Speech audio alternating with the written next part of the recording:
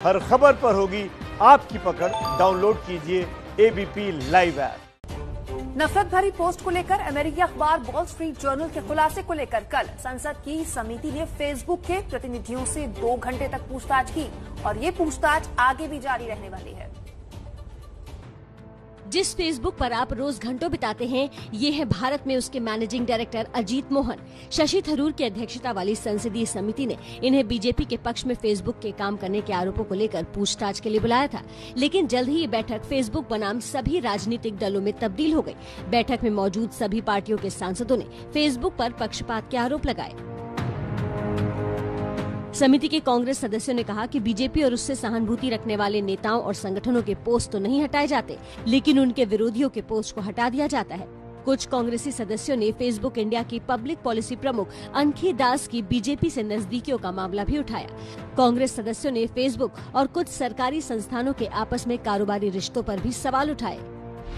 BJP के लिए बैठक की पृष्ठभूमि एक दिन पहले ही तैयार हो गई थी, जब सूचना प्रौद्योगिकी मंत्री रविशंकर प्रसाद ने फेसबुक के सीईओ मार्क जकरबर्ग को एक पत्र लिखकर यह आरोप लगाया था कि 2019 के लोकसभा चुनाव में फेसबुक का रवैया बीजेपी के प्रति पक्षपातपूर्ण रहा था।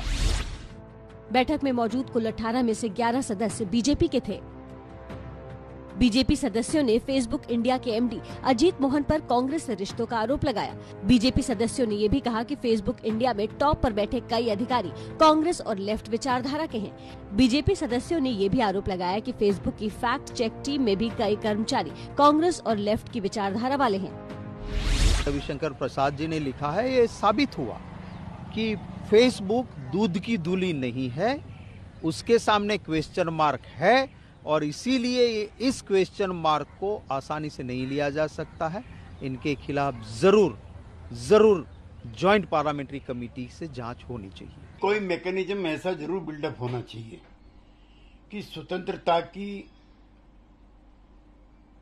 आज़ादी भी हो, विचारों को प्रचार प्रसार करने की भी आज़ादी हो, लेकिन कुछ सेल्फ रेस्टेंट भी होना चाहिए। फेसबुक के प्रतिनिधियों को एक बार फिर तलब करने का फैसला लिया गया, क्योंकि पूछताछ पूरी नहीं हो पाई। हालाँकि संसदीय समिति का कार्यकाल 12 सितंबर को खत्म हो रहा है। ऐसे में ये कहना मुश्किल है कि फेसबुक को दोबारा कब बुलाया जाएगा?